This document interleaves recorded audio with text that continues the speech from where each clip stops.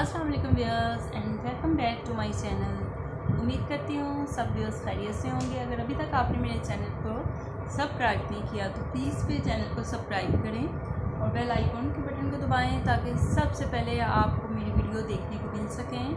Video अच्छी लगे तो एक थम्सअप थम्सअप दें। अक्सर बच्चों को, बड़ों को, बच्चों को दांतों में दर्द बहुत ज़्यादा होने लग पड़ती है। और नाकाबिल बर्दाश्त हद तक दर्द होती है। सारी रात दांत में दर्द होती है। तो उसके लिए एक मैं एक नुस्खा आपके सामने पेश कर रही हूँ। तरीका ये है कि सबसे पहले आपने बेकिंग सोडा लेना है। बेकिंग सोडा जो आम स्टोर से इजीली अवेलेबल है।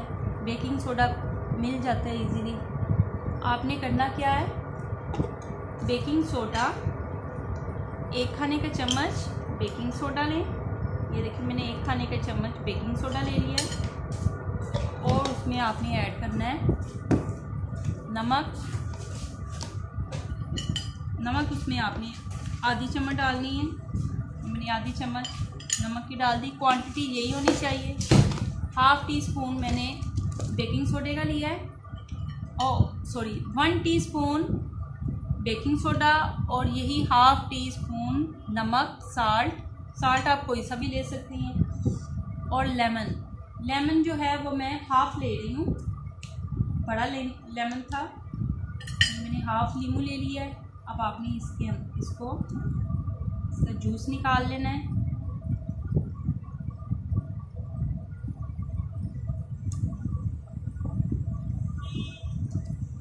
ये कि कितनी फॉर्म आ गई है इसमें। इस मिक्सर में। ये दांतों का दर्द जब हो रहा हो, तब ये ब्रश के साथ लगा के या उंगली की मदद से इसको पहले दांतों पे लगाएँ। दांतों पे लगाने के बाद आपने इसका थोड़ी देर के लिए दांतों पे लगा रहने दें, दो तीन मिनट के लिए। उसके बाद ब्रश की मदद से आप इसका जो बच गया है, उसको लेके दांतों पे मसाज करें, ऊपर नीचे दांतों के। इसको ब्रश की ब्रश की तरह, पेस्ट की तरह यूज़ करें तो इन ताला आपके दांत की दर्द में अफाका होगा। जब भी दांत की दर्द हो, मैं ये टोटका करती हूँ, घर में बच्चों को भी करने के लिए दें। ये देखें, ये मैंने मिक्स कर दिया। अब बिल्कुल ब्रश की मदद से आपने,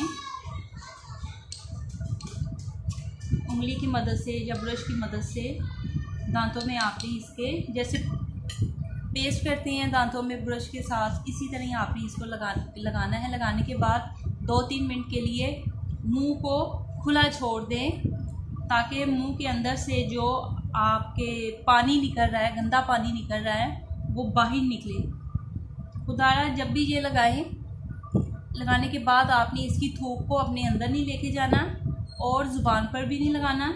कोशिश करें जब भी लगाएँ, मुँह ढीला रख के सिंक के अंदर रखें, जो जिस जगह पे कर रहे हैं, मुँह नीचे की साइड पे रखें और मुँह से जितना भी पानी निकल रहा है उसको निकलने दें। इन ताला इस टोटके से आपके दांत की दर्द में काफ़ी बेहतरी आएगी और आप ये करें, एक दिन छोड़ के एक दिन ये अमल अगर आप कर भी लिया करें तो इससे भी दांत आपके कीड़े मकोड़ों, कीड़े से, कीड़ों से महफूज रहेंगे।